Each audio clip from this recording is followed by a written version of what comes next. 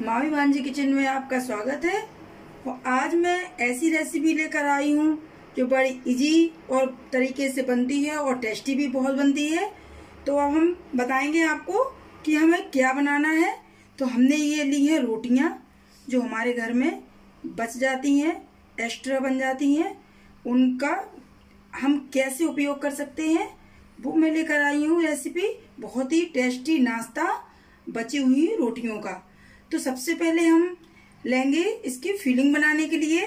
तो हम रोटियों को अभी कर देते हैं साइड में। मैंने लिए हैं ये मीडियम साइज़ के चार आलू। वो मैंने बॉयल कर लिए थे और गरम में ही मैंने इनको मैश कर लिया है। तो अभी हम इसमें फीलिंग बनाने के लिए मैं इसमें डालूँगी हूँ मसाले। वो मैं आपको बताती हूँ। तो अभी मैं इसमें डालूँगी ये प्याज। मैंने एक प्याज बारीक काट के रख ली है। उसको ऐड कर देती हूँ। और थोड़ा सा स्पाइसी बनाने के लिए मैं इसमें थोड़ी सी हरी मिर्च ऐड कर दूँगी। आप अपने टेस्ट के अकॉर्डिंग डाल सकते हैं। कम ज़्यादा जैसा खाएँ। और थोड़ी सी मैंने इसमें लाल मिर्च पाउडर लिया है। और ये है आधा चम्मच सौंफ वो भी ऐड कर दूँगी। ये भुना जीरा मस, मसाला है।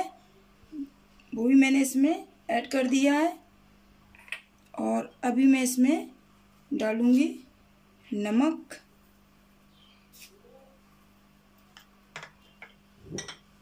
और अब हम इसमें डालेंगे हरा धनिया। हरा धनिया तो बहुत ही अच्छा लगता है। और अब हम इस सारी फीलिंग्स को मैश कर लेंगे। तो हमारी ये फीलिंग बनकर बिल्कुल तैयार है। अब हम इसको साइड में कर देंगे और अब हम लेंगे रोटियाँ। ये रोटियाँ हैं, इनको हम एक रोटी में से हम दो पीस करेंगे। इस तरह से हम इस तरह कैंची से काट लेंगे। आप चाहें तो चाकू की मदद से भी काट सकते हैं। ऐसे हम और भी काट के रख लेंगे। तो देखिए फ्रेंड्स मैंने ये रोटियाँ कट करके रख ली हैं। अब हम इस तरह से रोटी लेंगे और इसमें हम टमाटो सॉस लगा देंगे।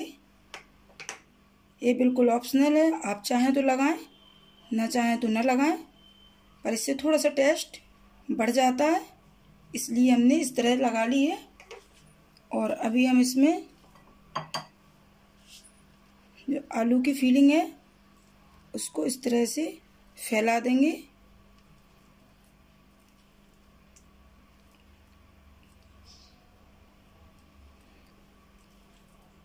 थोड़ा थोड़ा ही भरना है, ज़्यादा नहीं। ये इतना बहुत है और इसमें हम थोड़ा सा टेस्ट और लाने के लिए मैंने ये पनीर लिया था और इसको मैंने किसके रख लिया था। तो इस तरह से हम पनीर भी ऐड कर देंगे और इस रोटी को हम इस तरह पलट देंगे। और अभी हम ऐसे ही बना के और भी रख लेंगे। तो फ्रेंड्स, मैंने ये सारी भर के रख ली है। ये मेरी चार रोटियों के बने हुए हैं और अब मैं लूँगी एक बॉल बॉल में मैं डालूँगी ये आधा कटोरी बेसन।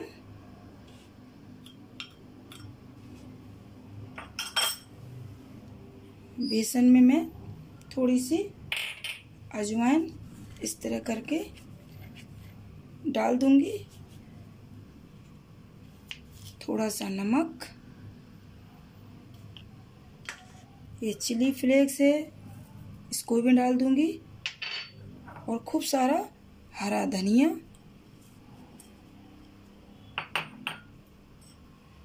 अभी इसको मिक्स कर लूँगी। तो अभी हम थोड़ा थोड़ा पानी इसमें डालते हुए इसका पेस्ट बना लेंगे।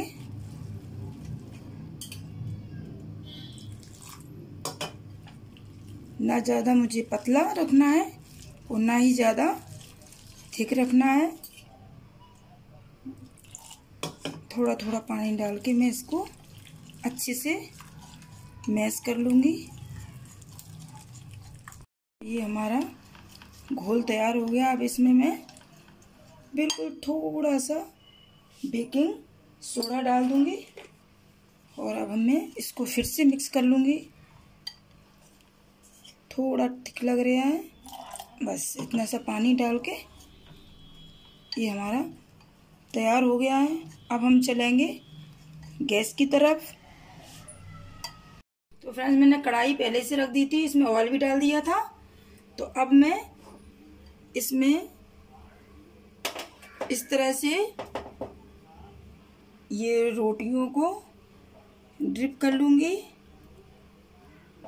और इसका जो एक्स्ट्रा है एकदम इस तरह निकाल के और धीरे से इसमें डाल दूँगी। और एक साथ में दो डाल दूँगी। अच्छे से भर के।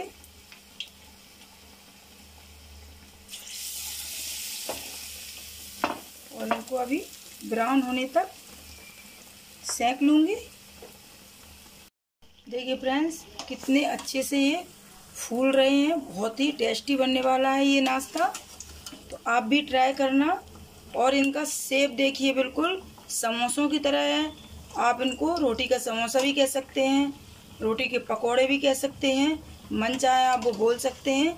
और अगर आपको हमारी ये रेसिपी पसंद आए तो लाइक शेयर करें और सब्सक्राइब करना बिल्कुल ना भूलें और कमेंट करके ज़रूर बताएँ कि हमारी ये रेसिपी आपको कैसी लगी। तो देखिए इनको मैं पलट पलट के और मीडियम फ्लेम पे बिल्कुल कम नहीं रखूँगी, नहीं तो इनमें ऑयल भर जाएगा। मीडियम में हम इनको ब्राउन होने तक ऐसे ही सेंक लूँगी। देखिए फ्रेंड्स, मेरे बहुत ही अच्छे सीख चुके हैं। अब हम इनको एक टिश्यू पेपर लगा के इसको निकाल लेंगे, जिससे कि इनका ऑयल जो थोड़ा बहुत है वो निकल जाएगा बाहर। और ऐसे ही हम और सारे भी सेंक के तैयार कर लेते हैं। देखिए फ्रेंड्स, मैंने सारे सेंक के रख लिए हैं। और अभी भी मैं आपको सर्व करके बताऊँगी। तो देखिए फ्रेंड्स है ना टेस्टी नाश्ता? हमारी रोटियाँ भी बेकार नहीं गई, हमारा नाश्ता भी बन गया। अभी मैं आपको तोड़ के दिखाती हूँ।